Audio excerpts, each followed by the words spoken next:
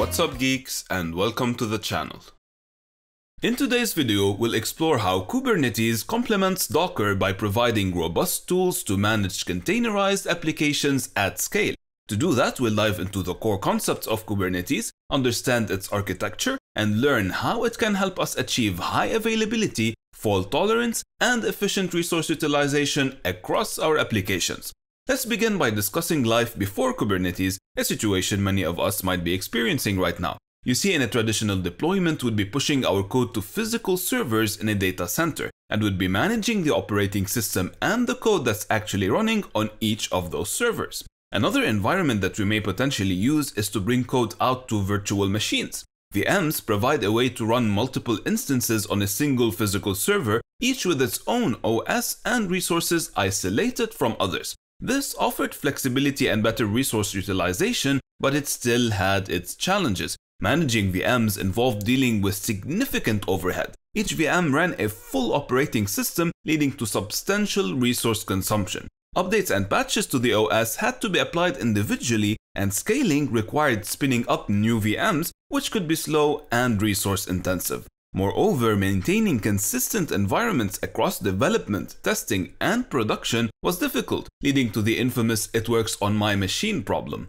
As applications grew and the need for rapid, reliable deployments increased, these traditional methods became bottlenecks. This is where containers and Docker came into play. They revolutionized how applications are packaged and deployed. Containers allowed us to bundle applications with their dependencies, ensuring consistency across different environments and significantly reducing overhead compared to VMs. However, even with Docker, managing containers manually at scale was still a daunting task. Ensuring containers were running, scaling them based on demand, handling failovers, and managing network configurations could quickly become unmanageable as the number of containers grew. This complexity called for a more sophisticated solution to orchestrate these containers, and that's where Kubernetes comes in. Kubernetes, often abbreviated as K8, is an open source platform for orchestrating containers. It automates the deployment, scaling, and operation of application containers elevating container management to the next level.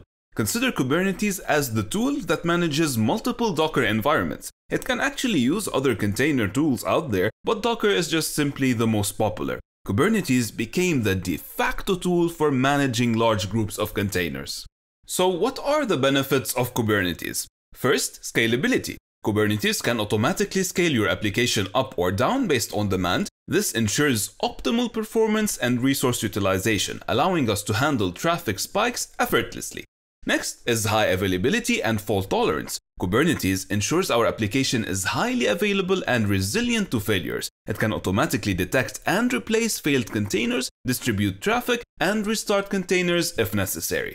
Also, automated deployments and rollbacks. With Kubernetes, we can automate the deployment process, including rolling updates and rollbacks. This means we can deploy new features or fixes with minimal downtime and quickly revert if something goes wrong. Additionally, efficient resource utilization.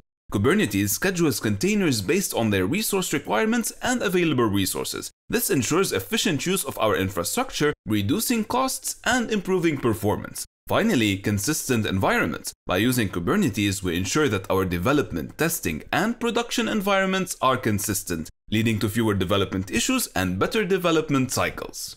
Okay, now before delving into the architecture of Kubernetes, some of you may be asking at this point, what is the difference between Kubernetes and Docker Compose? You see, Docker Compose deploys multi-container Docker apps to a single server. It is limited to single host deployments and lacks the advanced orchestration capabilities of Kubernetes. It is suitable for local development and testing, but less suitable for production deployments. On the other hand, Kubernetes is a production-grade container orchestrator that can run multiple container runtimes, including Dockers, across multiple virtual or physical machines.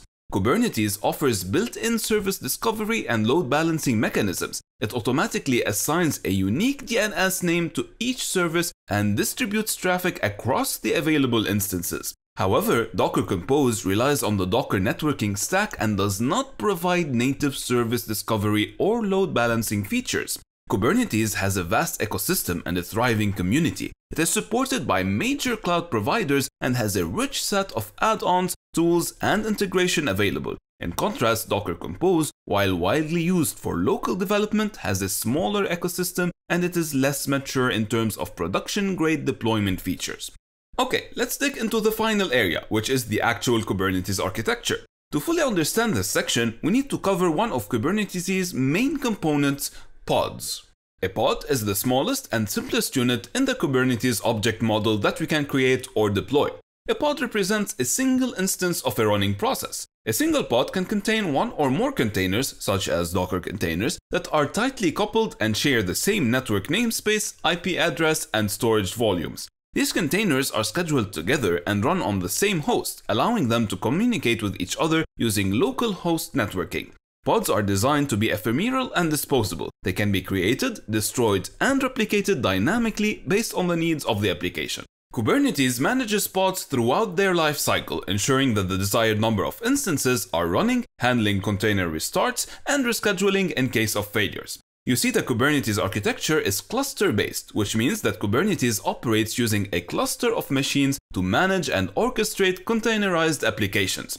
A cluster in Kubernetes consists of multiple nodes and each node can run one or more pods. There are two main types of nodes, the Kubernetes master or master node, which controls all activities within the entire Kubernetes infrastructure, and the worker nodes, which are managed by the master. The Kubernetes master, also known as the control plane, is responsible for maintaining the desired state of the cluster, such as which applications are running and their configurations. The master includes four main key components. The API server, this is the entry point for all the administrative tasks in the Kubernetes cluster. It exposes the Kubernetes API, processes REST operations, validates, and executes them. The etcd, a consistent and highly available key value store used as Kubernetes' backing store for all cluster data, it stores configuration data that can be accessed by each of the nodes in the cluster. The scheduler, this component watches for newly created pods with no assigned node and selects a node for them to run on based on resource availability and other constraints. The controller manager, this runs controller processes that handle routine tasks in the cluster such as managing applications, ensuring the correct number of pods are running, handling node operations, and more. On the other hand, Kubernetes nodes, also known as worker nodes, are the machines where the actual workloads run. Each node has the necessary services to run pods and is managed by the master. Key components on a node include the kubelet, an agent that runs on each node in the cluster. It ensures that containers are running in a pod, it communicates with the master to receive commands, and reports back on node status. The kube proxy maintains network rules on nodes. It handles the network routine for traffic going to and from pods, ensuring that communication within the cluster and from external sources is managed efficiently. The container runtime, it's the software responsible for running containers. Docker is the most commonly used container runtime, but Kubernetes also supports other runtimes such as Containerd and CRI-O. Finally, before ending the video, we'd like to cover a few additional concepts behind Kubernetes. First, namespaces. Namespaces provides a way to divide cluster resources between multiple users or teams, offering isolation and helping manage resources efficiently. You see, multiple pods running on different nodes can belong to the same namespace in Kubernetes. Think of a namespace as a logical partitioning mechanism within a cluster that is not tied to the physical infrastructure or the nodes on which the pods run. Next are services. Services in Kubernetes are an abstraction that defines a logical set of pods and a policy by which to access them. Services provide a stable endpoint such as an IP address and a port to access pods that perform the same function regardless of which node they are running on. This abstraction allows clients to reliably connect to the backend pods without needing to know their locations. Now, deployments and replica sets. A replica set ensures that the specified number of replicas or pods of an application are running at any given time across the entire cluster. A deployment provides declarative updates to applications and manages the creation and maintenance of replica sets.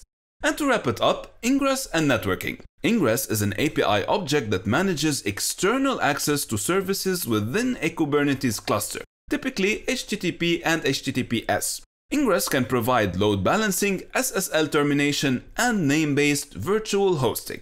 Stay tuned for the next videos of the series in which we'll create our first Kubernetes cluster, dive deeper, and put to use all the information we covered today. So that's it for this video. I hope it was helpful. Thank you guys for watching. Take care and I will see you in the next one.